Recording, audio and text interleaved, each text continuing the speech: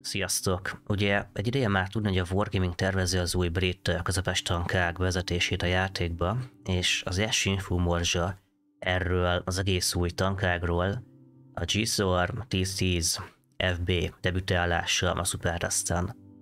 Ez egy TR-8-as brit kerekes közepes tank lesz, ráadásul prémium, és nyilván az ember egy első tekintetre, vagy első blikre mire gondolna? Hát nyilván arra, hogy a G-Swarm 1010 FB az tulajdonképpen egy kiváló főfegyverzettel, morzékonysággal, illetve eléggé papírpáncélzattal felszerel közepes tank a játékban.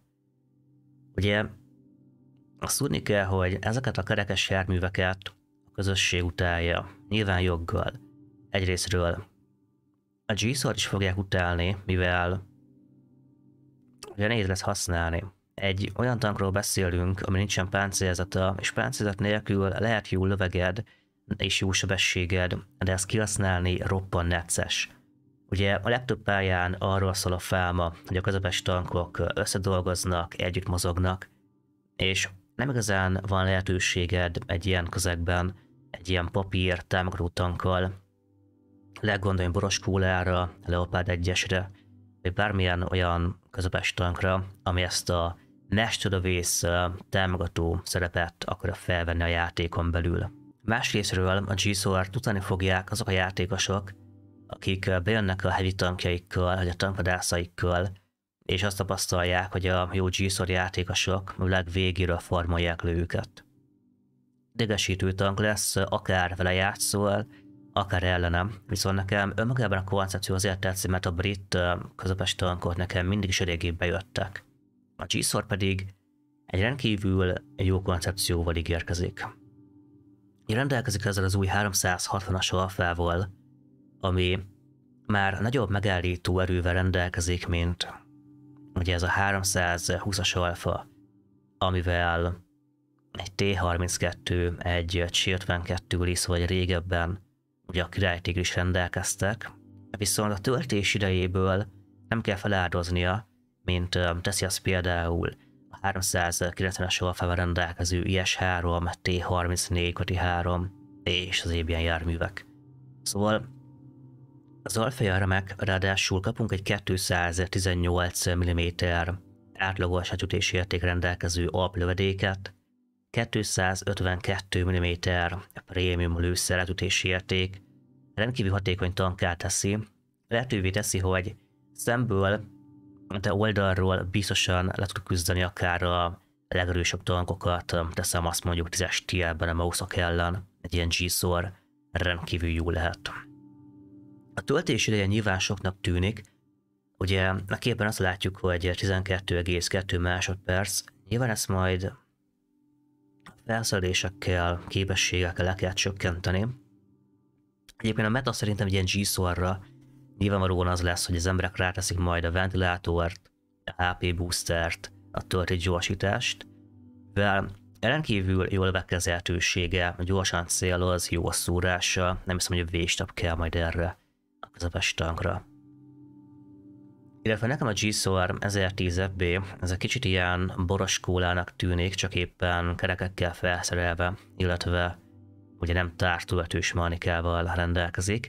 Szóval amennyiben ezt a g t szeretnéd a spotter tankként használni, és majd meglátjuk, hogy a top magassága, az átszázási értékek mennyire lesznek a toppon, viszont Szerintem ez a tipikus spotter megoldással, hogy parancsnok látásrendszere, optika, kifogó rendszer rendkívül hatékony spotter lehet olyan térképeken, mint Mainovka, Redshire, Murovanka, vagy éppen Brorovka.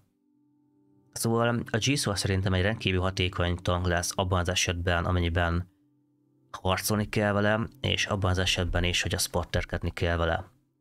Amit a Wargame megígért és a kapcsán, az nem más, mint hogy a G-SOAR 1010-et úgy tervezték, hogy meg tudjon fordulni egy helyben. Ugye a francia könnyű kerekes tankoknak szükségük van eléggé nagy területre ahhoz, hogy meg tudjon fordulni. Nem tudom, hogy a gyakorlatban ez most valóban úgy fog kinézni, hogy a g kb. így megfordul, de eléggé sanszos, hogy igen. Viszont ami a hátránya ezekhez a lightokhoz képest, hogy hátrafelé, bár eléggé gyorsan megy, de azért ugye már csak fel annyival, mint előrefelé. Ráadásul a Warhammer azt ígéri, hogy erre a közepes tankra, illetve a brit kerekes közepes tankokra hat majd a fizika. Ami azt jelenti, hogy még ugye egy EBR 105, mikor ilyen 90 km per órával száguld és rendkívül élesen tud fordulni, és hogy nincsen semmi problémája ebből, addig um, a g a fordulási sebessége, illetve képessége már egyrésztről a közepes sebességnél, de nagy sebességnél meg végképp problémás lesz, szóval sokkal megfontoltabban kell használni, mint a franciák kerekeseit.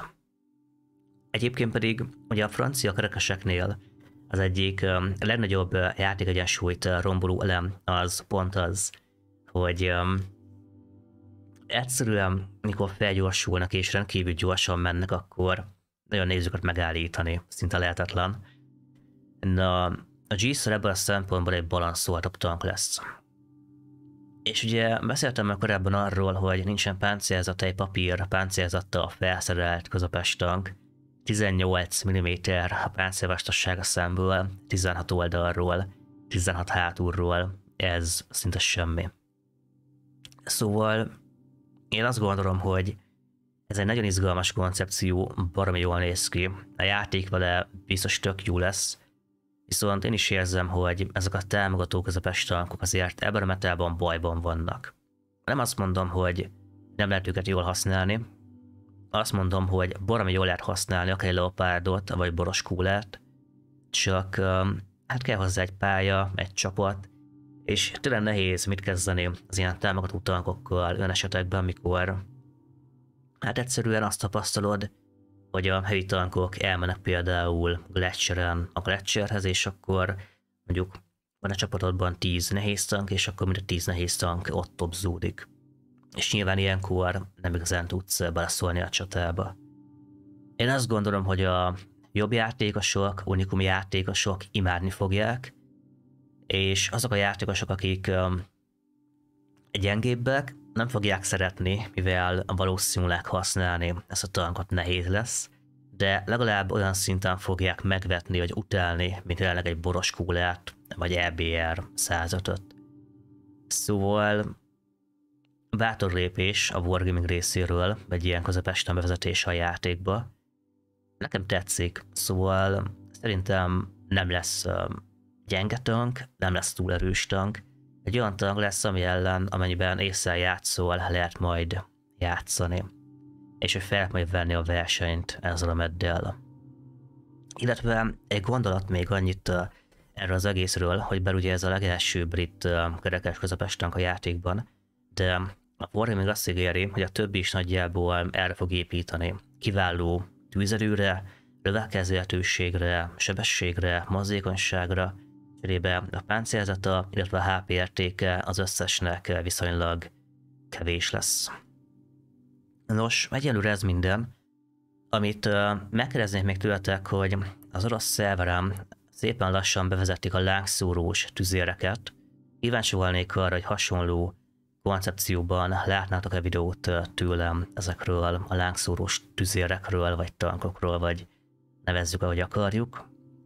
Ha igen, akkor egy lájkot mindenképpen lőjetek, kommentben írjátok meg, hogy egyrésztről mi a véleményetek ugye a G-szorról magáról, illetve a kerekes járművekről, illetve hogy látnátok-e a videót ezekről a lágszórós tüzérekről.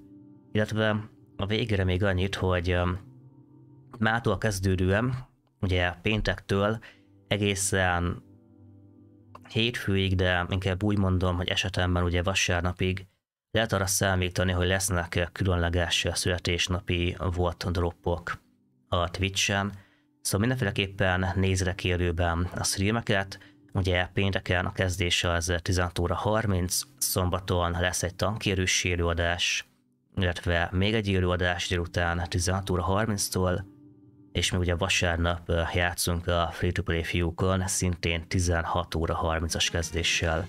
Nos, ez minden, nagyon szépen köszöntem még egyszer a figyelmeteket. Ha tetszett a videó, egy lájkot mindenképpen lőjetek, én Chef voltam, Én szépen köszöntöm a figyelmeteket még egyszer, és tudjátok, hamarosan megint találkozunk. Addigi sziasztok!